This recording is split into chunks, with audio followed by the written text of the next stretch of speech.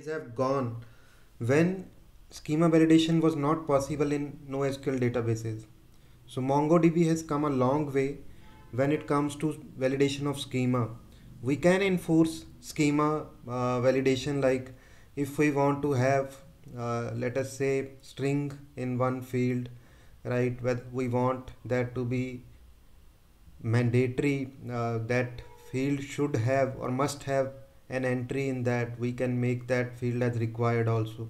We can enforce schema in MongoDB by using schema validation while creating the collection as well as after the collection has been created that time also we can impose the data schema validation in that particular collection. It ensures data accuracy during updates and insertions right? And then second advantage is rules can be defined per collection basis. So it will not be applicable across the whole database. It will be applicable for different collections.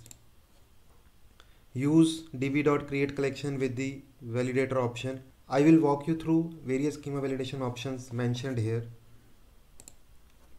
And it can be applied to an existing collection also. So now let us start. So i'm going to create a collection called students right where this is validator this is the syntax. Again json schema this is also a part of syntax.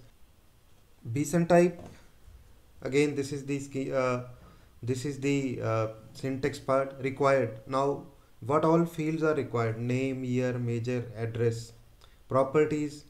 So i can now define this name to be a part of string description right for future understanding here uh, I want it to be an int minimum value maximum value you can see that right? So I am giving so many values here right? And then uh, major I am talking about enum part so it will accept either four of these values or null right? Then GPA double. So this way I can impose schema validation here